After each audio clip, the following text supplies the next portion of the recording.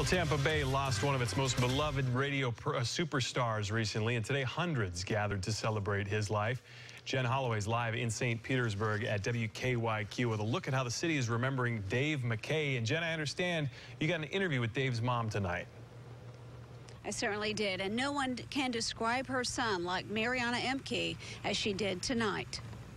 He was a very demanding child for attention from the very moment he was born. A perfect start for a man who would eventually live his life in the spotlight. His mother, Mariana Emke, says even at the age of nine, McKay was always the center of attention, even in middle school.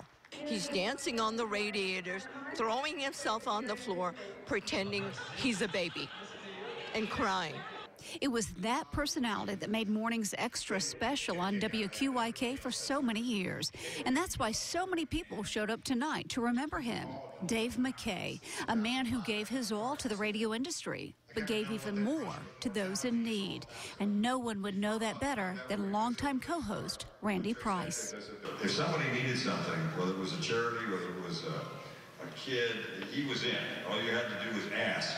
Fellow broadcaster Mason Dixon shared his memories of Dave's devotion to the military.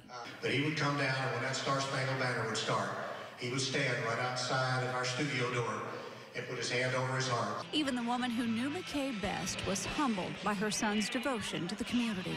And around Christmas, he was just overwhelmed with all the needs and the toy drives, and so he thought he has to do something because he could. McKay's longtime friend and program director, Randy Mike Culotta, emceed the event tonight and uh, certainly made a bin, big impact on the event in St. Petersburg. Jen Holloway, News Channel 8.